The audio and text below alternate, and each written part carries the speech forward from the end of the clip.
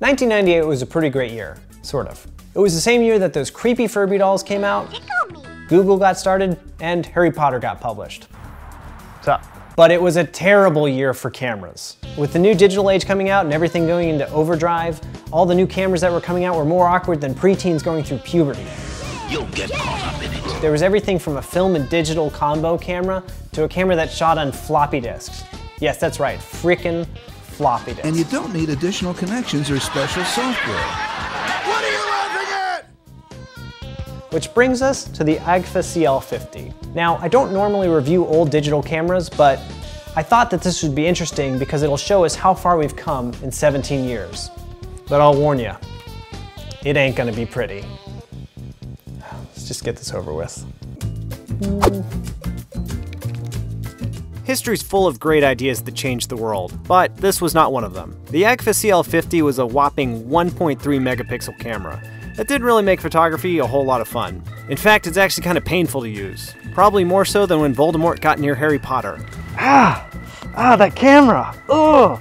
Ah, ah. It all starts with this on switch, this loose, easily tugged and bumped button that controls your power. Problem is, if you're trying to handle the camera in any way, you turn it off accidentally. Ugh. I can't tell you how frustrating that is. And if that's not enough of a crime, it takes a full six seconds for this camera to turn on fully. So if you bump into it accidentally like anybody would, you're punished by a horrendous wait time. The worst part is, if you go to play, the camera actually has to go through the six second startup and then pull the lens back in before it can load your final freaking picture in the play screen. God. Who designed this thing? And it's not like your pictures look good anyways. What you're greeted with for your patience is a mediocre picture at best. It's not bad, but I can't even show you on the computer. Why? Well, this is gonna knock your socks off. Look at the memory card it uses.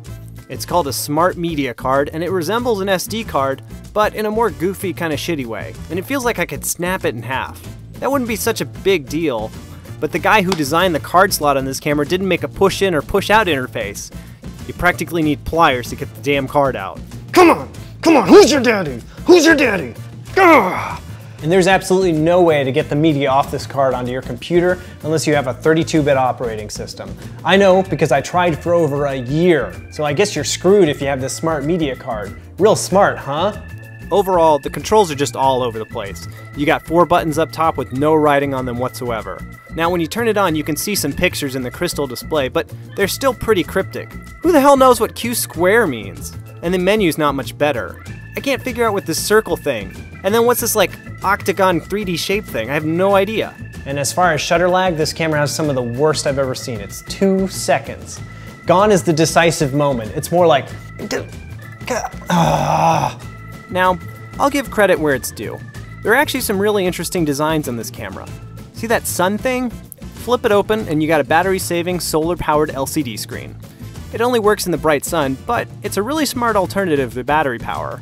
I wish they still had this feature on modern cameras, but I guess it didn't make it. See that microphone? For some reason, they thought it'd be a great idea if you could record audio memos with each one of your pictures. Ass Goblin. Ass Goblin. this is the most retarded feature ever. Not really a bad feature, but I could only see this being really helpful to some sort of insurance agent documenting different parts of a broken car. Don't want to forget this photo. I want to say this camera is a pocket camera, but it's still a little big for that. Sure, you could put it in your pocket, but you really shouldn't, unless you want to look like you're carrying a brick in your pants. Yeah, I know, it was probably an okay camera back in the day, but at $500, that was like your rent. And for that much money, you better damn well make sure you're getting something good. The only thing it proves to me is that I'm so happy that we're 17 years away from where we used to be. So I'm gonna take this camera and put it out of its misery just for you. You have to destroy it, you know. Well, it's just a camera, though. Yeah, but it's the only way. Sorry, Agfa. Avada Kedavra! It had to be done.